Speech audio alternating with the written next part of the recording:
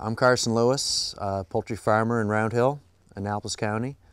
Uh, me and my wife Valerie, uh, we grow uh, broilers for ACA Co-op uh, out of New Minas.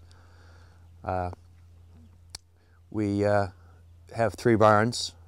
We grow 1 million kgs per year for broilers that are marketed through Maple Lodge in Ontario.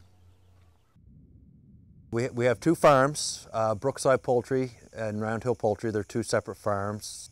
We do uh, we do a, a broiler at, at 2.3 kg broiler, uh, which is uh, for use for Swiss Chalet. Uh, the smaller birds go to Kentucky Fried Chicken, uh, and then the and then the rotisserie birds for the grocery store. We have our own feed mill that uh, we, we uh, mill up about 1,800 tons of feed per year for the broilers. The, far, the farm consists of uh, about 180 acres of grain land, which we uh, ran out to the dairy farm next door, the Bishops. We're inside of uh, Round Hill Poultry. This is a, a, a typical broiler barn uh, in Canada. this barn's 21,000 square feet in size. Uh, we're running, uh, I run 26,000 birds uh, in this barn per flock. The birds that you're seeing right now are uh, just seven days old. Uh, the heating system in this barn is all in-floor heating, in-floor radiant heating with uh, pipes that goes through the concrete of the floor. The, it, the this type of heating makes it very comfortable for chicks as when we bring the barn up to temperature for the birds, uh, we have to bring the barn up to 32 degrees Celsius, which is close to what the body temperature is for the chick. With the heat source being the floor themselves, when the chick lays down, it feels warm, just like a warm bed for them. Uh, as you can see throughout the barn, they're spread out very evenly, which tells the farmer that uh, they're very comfortable and that the, and the conditions are just right. In, uh, in about 2002, we had a hard winter, and uh, my oil consumption went right through the roof. The, uh, the, the cost of heating the barns throughout uh, the winter and the year was uh, became too much.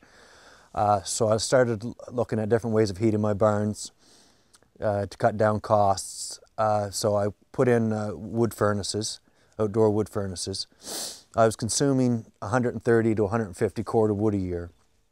About seven to eight years, eight years, uh, the wood furnaces uh, basically burn out.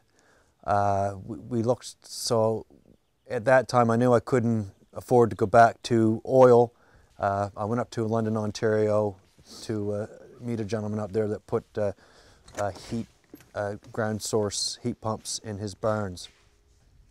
Uh, I used oil in the time frame from when I decommissioned my wood furnaces to I brought the technology down and installed it in the geothermal technology down and still installed it into my barns. The, uh, the, ground, the ground loop field is uh, down over the hill there. There's uh, 18 trenches. Uh, they was uh, 600 feet long.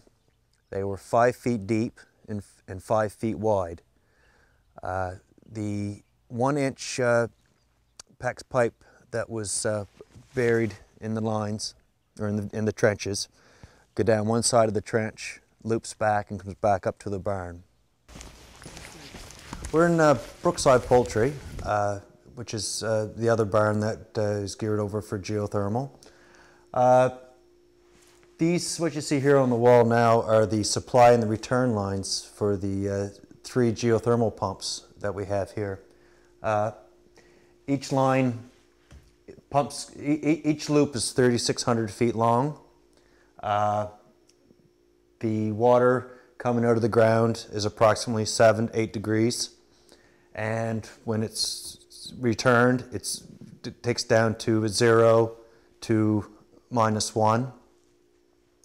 The uh, heat pumps draw five to six degrees uh, of temperature out of the water uh, as it circulates through the pump.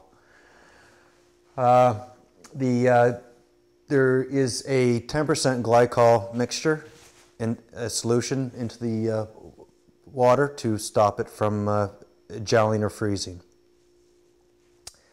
Uh, as the, uh, the warm water from the ground circulates through to the uh, heat pumps, uh, we have a, uh, the, the three heat pumps are stacked. The warm water circulates through the heat exchangers and the temperature then is extracted into my ground loop or my floor loops, which uh, these 220 gallon storage tanks uh, holds the water. Then when the computer ventilation system calls for heat, the circulator pumps will take this uh, 40 degree water and put it into the floor of the barn. Uh, all, the, all the barns here are in floor radiant heating, uh, which has the hot water pipes poured right into the concrete, which is more comfortable for the chicks. The, uh, the system, uh, all told, for, the, for both barns cost me around $230,000. The funding on the system was uh, about 50% funding uh, with the uh, pilot project through the Department of Agriculture Nova Scotia, the Eco Energy retrofit program, uh, Efficiency Nova Scotia, and the uh, Farm Investment Fund. It's well worth the time of taking a road trip uh, to go visit a farm that's has done done the systems uh, and talk to producers that have has got experience with the uh, systems. If you don't know of a producer that's doing your application, then uh, you know talk talk to some talk to somebody that has systems similar to the size that you're looking at putting in. I'm very uh, optimistic on the uh, return on investment for the system. Uh, it appears to be very low maintenance. Uh, there's no annual servicing to be required. Uh, if, when things all turn out, if I can save 60% on my energy costs, uh, you know, I'm looking at, you know, less than a five-year payback for the system. So, with with any luck, it'll be be all of that.